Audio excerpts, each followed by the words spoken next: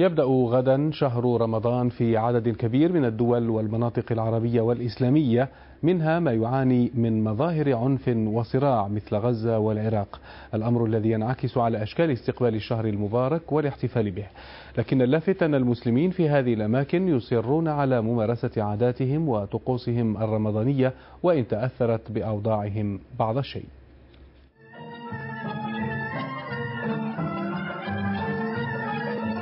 هذه هي الأيام التي ينتظرها المسلمون كل عام. شهر رمضان شهر العبادات والتقرب إلى الله لكنه كذلك عند البعض شهر التسوق والطعام.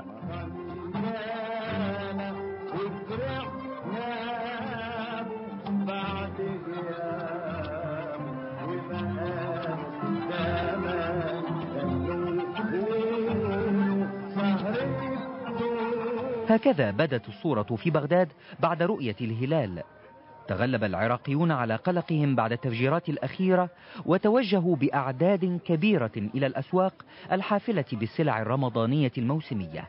الإقبال كل زين على شراء المواد الغذائية والمواد العطاريات والمواد الداخلة في المنزل آه، والسوق كلش قوي آه، ولكن البارحة بسبب الانفجارات والأصوات القريبة عليها العالم نوعا ما صار نوع من الانكماش.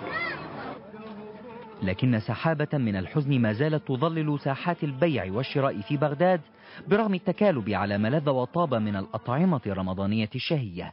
يعني أنت تلاحظ البارحة كانت يعني كان الأربعاء الدامي وتلاحظ اليوم العراقيين دا يتسوقون ولا كأنه لأن العراقيين بعد بتنطلي عليهم أي مسألة ولا يمنعهم تفجير مفخخة ولا يمنعهم أي شيء. المشهد في غزة لا يختلف كثيرا. غزة التي سحقت آلة الحرب الإسرائيلية بنيتها التحتية خلال الشتاء الماضي ها هي اليوم تزدان بالزينة والفوانيس والبضائع الرمضانية. لكن رمضان غزة هذا العام يختلف بلا شك عن الأعوام السابقة. السنة رمضان يعني شايفين من زي زي باقي السنين عشان الحصار الموجود على غزة. الناس يعني معظمها بتيجي على السوق يعني تتفرج ما فيش ناس بتشتري زي كل سنة يعني ما فيش فرحة ما فيش انبساط. آه، داخل موسم مدارس ما فيش ناس معاها تكسل عمال عمال قاعدة بقالها أكثر من عشر سنين. آه، خريجين قاعدين. يعني البطالة صارت يعني نسبتها كبيرة في غزة.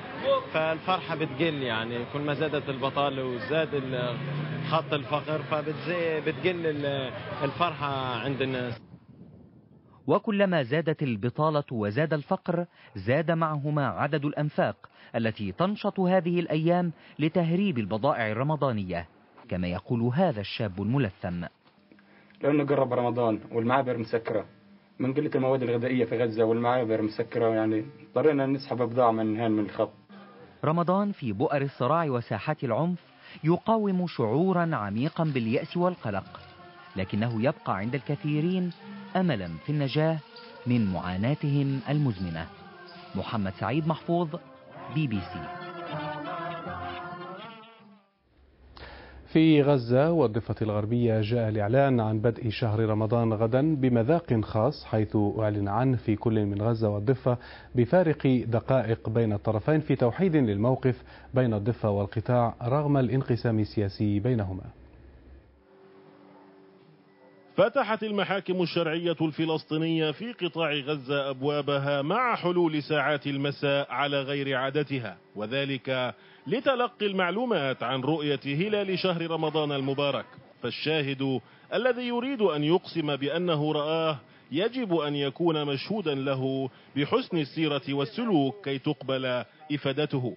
فعليها يترتب صيام الفلسطينيين وتحديد أول أيام الشهر الكريم لهذا العام. يعني لو أن رجلا إنسان عادي من الناس وقال أشهد أنني رأيت الهلال بنأخذ بشهادته لأنه أخبر بشيء يعود على المسلمين بالخير.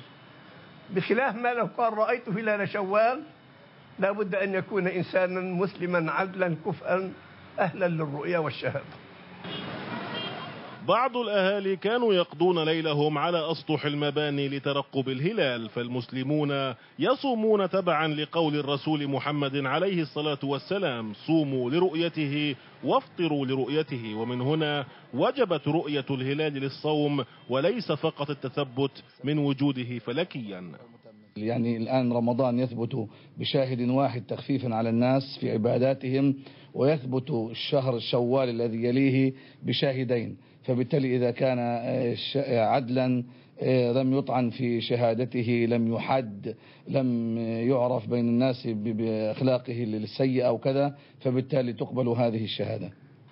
لا غزة ولا رام الله طلع الهلال وإنما هم تبعا لغيرهم في رؤيا الهلال.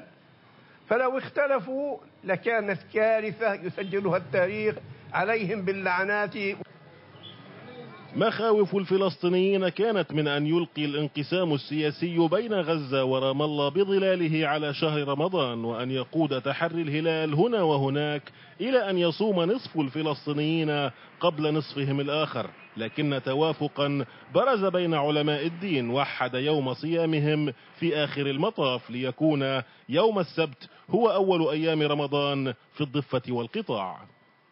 وجمع غفير من العلماء والوجهاء والتجار ورجال الإصلاح.